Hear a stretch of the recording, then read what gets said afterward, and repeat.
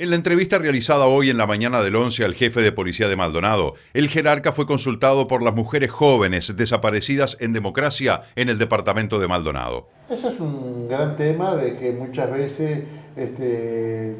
desaparecen.